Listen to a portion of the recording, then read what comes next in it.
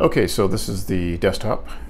We do not have full monitor support yet because we have not installed the NVIDIA WebDriver, but here's monitor one and here's the second.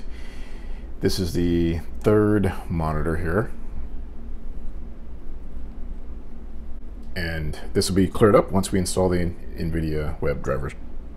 Okay, so we're ready to install the NVIDIA WebDriver. So let's go ahead to uh, TonyMacX86.com. Probably should have downloaded it earlier, but I didn't think about it. Once again, you'll need an account. If you do not have one, you should create one. Otherwise, you cannot download. And they have it all cat categorized, nice and neat for you. Okay, uh, which version? A good question about this Mac. Okay, 10.12.4. Okay, we didn't do the update yet, so let's go ahead and grab this uh, Mac OS 10.12.4 Sierra. So download that NVIDIA WebDriver for this version. And the cool thing now, now that we're in the world of Clover, we can, in theory, do minor system updates without creating havoc, and it should reboot um, normally like a regular Mac. And that's where earlier in the video I showed you in the boot timeout section to set it to zero so and your default drive so it'll automatically reboot to that drive after a system update. And if you do have any errors you may have to reboot a couple of times um, for it to actually kick in and then you have uh, a normal system again. But uh, anyway that's downloaded. So let's go ahead and quit our browser and let's install the NVIDIA WebDriver continue. Continue agree and install. Enter your admin password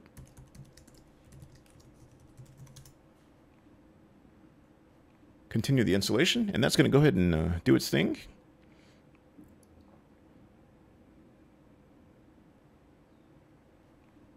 Okay, the installation was successful. So I'm going to go ahead and change views here. I'm going to switch to another camera so you can actually see that we have full monitor support.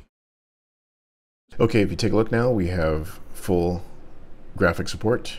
I have my three monitors, one, two, and here's my third one here. All right, good to go. Okay, so you saw we have multiple monitor support. I have three monitors connected to this graphics card, and you'll see the NVIDIA logo here at the top here. And if for any weird reason this is checked, and you're not going to have your full monitor support, so go ahead and select the NVIDIA WebDriver there. It may pop up like that sometimes by accident, um, but generally you set it once and forget it.